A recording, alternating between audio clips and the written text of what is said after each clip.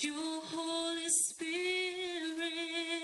teach me, dear Lord, to live all of my life